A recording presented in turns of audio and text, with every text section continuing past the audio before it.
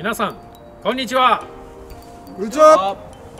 第7回 CCP を始めさせていただきます。今月から寒くなってきましたのでハッピーに変えました。それでは行きましょう。えいえいおー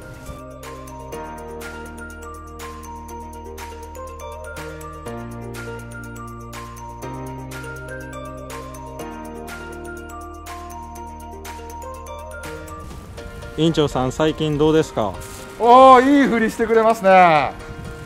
最近ですか？実はねいいことがありましてね。僕あの徳島出身なんですけどね。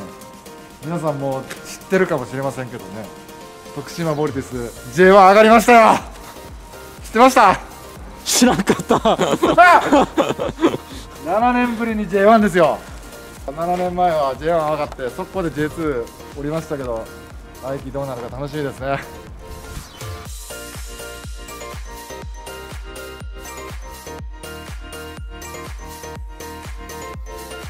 その帽子どうしたんですか？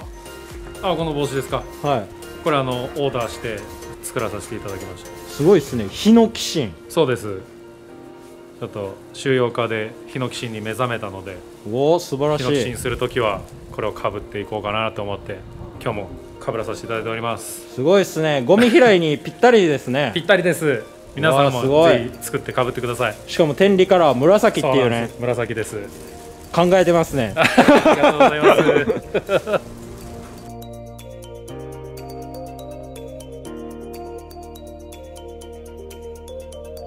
イギリスみたいに今度靴磨きでも始めよう靴磨きなくしみたいな。あ歩いておいたからそこで磨き続けるみたいなそれかかつてのあれやん。委員長の夢やん。靴磨き。じゃあ靴靴職人か今日はこれだけのゴミを拾わせていただきました。イエーイイエーイ。楽しかったですね。楽しかった。来月もよろしくお願いします